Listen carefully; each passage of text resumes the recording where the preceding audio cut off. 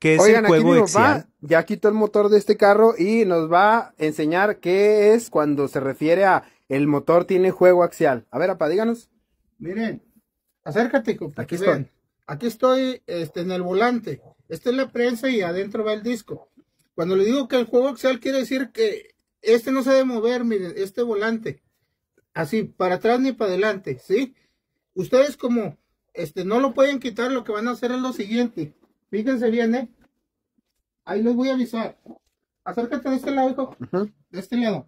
Miren, el motor está instalado en el, en el carro, miren, este no se debe mover, miren, si se fijan, es leve lo que se mueve, ¿por qué? Porque este es un motor que está bien, bien, este, no tiene juego axial. Este sí les recomiendo que lo compren, porque cuando ya se escucha muy feo, ni se metan porque lo tienen que reparar y sale costosa la reparación, para que se pongan listos, ¿eh? Gracias a Dios.